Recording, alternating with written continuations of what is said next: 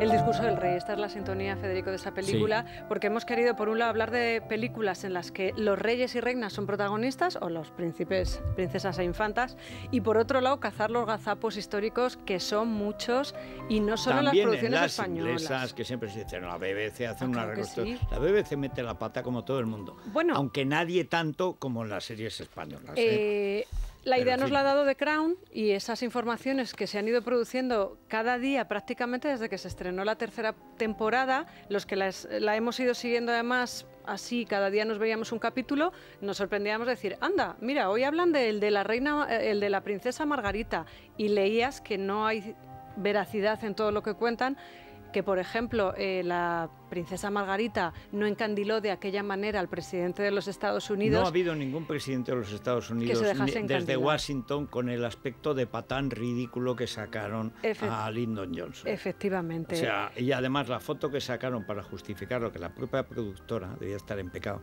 sacó una foto en la que está en la reunión real. No es en una mesa, es eh, tomando un cafecito Sí. que están Lady Bird, que tampoco se parecía ahí, porque sacaron una chata. Pues si Lady Bird era un pájaro. Y le llamaban así porque además era un pájaro. Ya metieron la pata en la segunda con el encuentro con John Kennedy y su Sí. señora, con Jackie O. Bueno, Parece ser que en la Mira, serie... hay una patología en los ingleses. No perdonan a los americanos. A los españoles nos ocian a- hace cuatro siglos, pero a los americanos hace dos.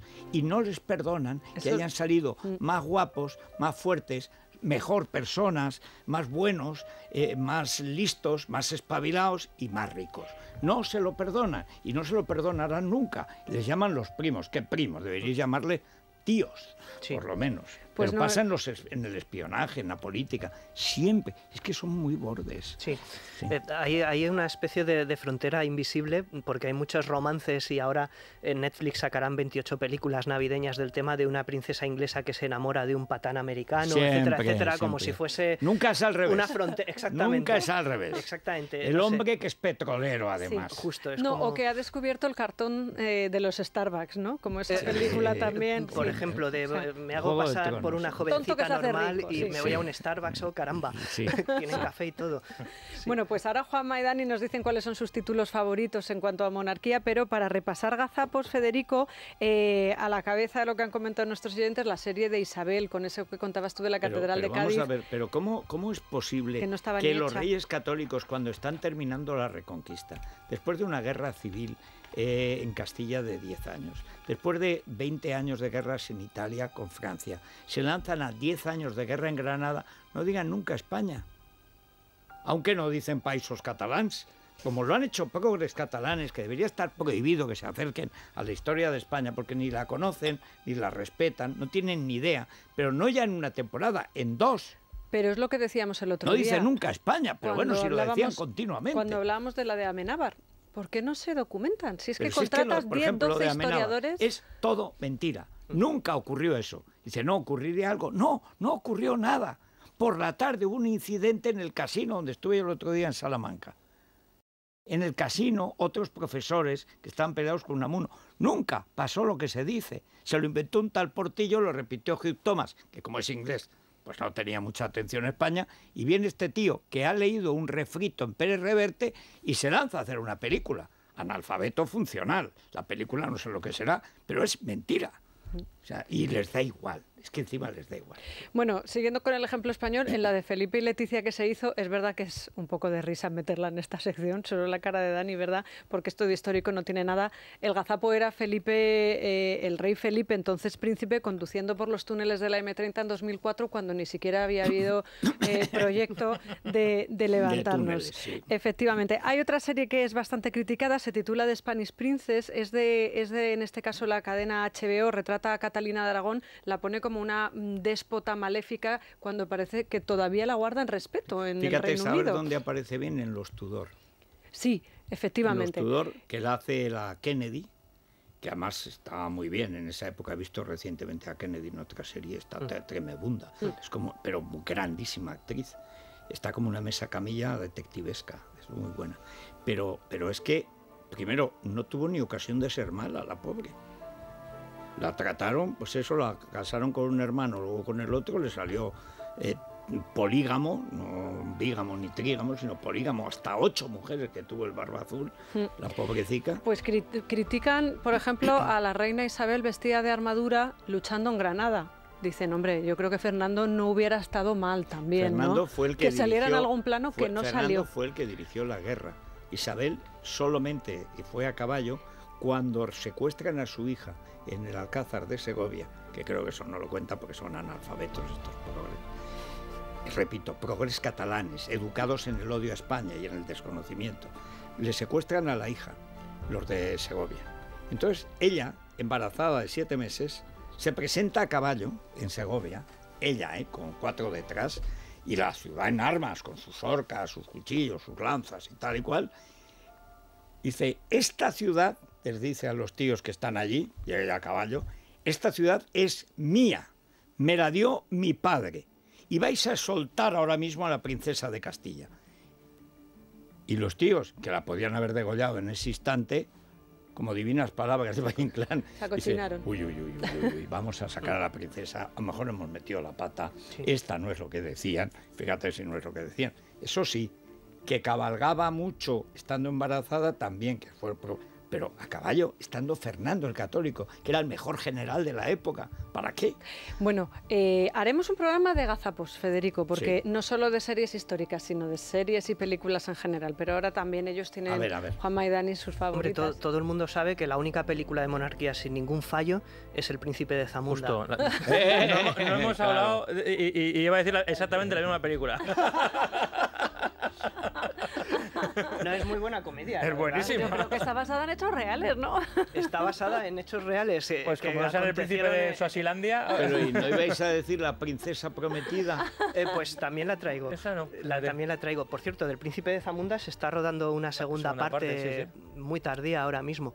¿Con quién? Con Eddie, Con Murphy, Eddie Murphy. y ha metido a Wesley Snipes, otro matado de la vida que, Sí, sí. bueno, yo creo que va a ser magistral. Pero eso, esa o sea, película era muy divertida. Un, Sí. un príncipe de una república imaginaria de África que, Sí. que decide desobedecer las órdenes de la, de la familia real y no Y se va a casarse- trabajar a un No McDonald's. casarse con la chica que, que- que- que- que- que tiene que casarse y se va a Nueva York a trabajar en, Sí. un, en un McDowell's, que en un McDonald's. Sí, Sí. y le dicen que te den, que te den a ti también, También. amigo. ¿sabes? Es- es- tiene y, muchos y acaba enamorándose de la, de la, de, de- de- de No la sois- hija del dueño de... No sois serios. es que no puede ser. Pero es buenísima esa Pasamos película. Isabel II al príncipe de Zamunda. Sí, sí. Hay- y, joder, Bueno, grupo- pues le hubiera alegrado la vida, ¿eh? porque Eh, esa es muy triste.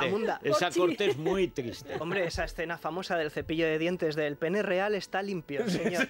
la, la- las limpiadoras real- reales, es verdad. Sí, sí. Bueno, Troya sería una buena película de monarquías, de alguna Sí, manera. Oye, no, no, y Sí. además de verdad, y además de dos dinastías y Sí. dos monarquías eh, rivales. Sí. Que claro, es que estamos hablando Y- de Troya. No sale Esparta como tal, aunque Sí. estaba en la trastienda, pero desde luego Agamenón, Sí. que, eh, bueno, es que es. Porque Aquiles es un ser raro, es un semidios y tal, pero el otro no. Agamenón tiene una idea clara de que la única manera de tener una monarquía helénica, como finalmente se consiguió, es cargándose Troya. Y no para hasta que se lo carga. Creo Y que la- en esta salen con. Es. eh, no sé, no me acuerdo ahora del nombre. Es la mujer del protagonista de The Walking Dead. eh, la actriz que. Rose Byrne. No, eh, no, bueno, en la- cualquier caso, sale con una sombrilla de. con una sombrilla en Troya, con una sombrilla de estas de varillas, cuando las sombrillas en esa época. Elena, la que hace de Elena. Sí. Ah, Diane Krug. eh, Eh, Diane Diane Kruger. Kruger. Y creo Sí. que en un Anda, plano que se les un avión también, chiste ¿eh? yo, la mujer del novio de no sé quién, que ha tenido Sí. un hijo ahora, o sea, la sigo. Sí, pues sale con que una, era con la una sale la con mujer una de sombrillita de varillas, como si fuese del siglo XVIII, y también pero, está considerado un gazapo había, pero había varillas, ¿eh? Había varillas, Sí, ¿eh? para las sombrillas. Los, sí. perdona, los atenienses inventaron casi todo y lo que no venía de China. Es que China llevaba mil años inventando chino, de cosas. hecho. Eh, claro. Bueno, eso es lo que decía Baroja. Dani. Decía, en Austria empieza el chino. Dani, un título. Excalibur, de John Burman. Eh, es una película que mezcla mm, eh, armaduras brillantes y barro. O sea. Sí. y, luego a mí me encanta esa película por la presencia de Helen Mirren haciendo de Morgana, que para mí es como un icono sexual. Me encanta esa mujer. O sea, cuando era joven, sigue siendo muy atractiva, pero cuando era joven era un auténtico bellezón. Y creo que es una cier- eh, La película en general, el casting es muy bueno y muy acertado. Pero el, escoger a Helen Mirren para hacer de Morgana me parece un acierto. Oye, y de esa serie interminable de Camelot, el primer caballero. Sí. Ah, buena peli. Sí, Muy buena, romántica. Sí, Muy bonita. Claro, Sí. delante Pero muy bonita, ¿eh? Un gran papel que hace Sean Sean Connery. Richard Gere y Julia, Julia Ormond, ¿era? no? Julia Ormond, que sí, cayó en desgracia un sí, poco. que luego desapareció. Y ahí está brutal, es Sí. donde mejor la he visto. Luego hizo Sabrina, hizo Sí. Leyendas de Pasión. Sí, Sí. Tuvo su momento, pero tuvo, no, no tuvo, cuajó. es que era una belleza rara. Se Y hace operó- poco hizo, hace unos años hizo una película en España sobre la dama de Éboli, puede Se ser. operó Ah, fatal. la- sí, que la hizo, sí. era ella, además. Era ella, Sí, era Julia Ormond, ya bastante más ya mayor. mayor. Eh, Sí, sí. Le daba un aire a Genevieve Bujold. Sí, Es sí, verdad. sí, es verdad. Sí. Sí, sí. Sí, lo gracioso No. de esa peli es que la dirigió el de Aterriza como puedas. Ah, Es algo que nunca te acabas de acostumbrar. ¿Algo que decirnos de vuestros podcasts? Eh, Ah, pues eh, bueno. que seguimos ahí Sí. y todo el mundo y todos los oyentes nos dan buenos comentarios, con lo cual nosotros abundamos en ello. Este domingo eh, saldrá uno nuevo, ¿Sobre? Sobre. El protegido. El Protegido y las películas de Shyamalan, Da un para un poco de suspense. Shyamalan. Sí, uh, ya Que ves. sí, hombre, es broma. Sí, sí, sí, sí. Bueno, pues gracias a los dos y cesta de Navidad que... Lo que le faltó al protegido es esta cesta de Navidad. Bueno, imagínate. Claro, porque no conocen el jamón. Es que van por ahí mundo adelante, no conocen el jamón. El jamón de Guijuelo, 7 kilos, 7 kilos y medio.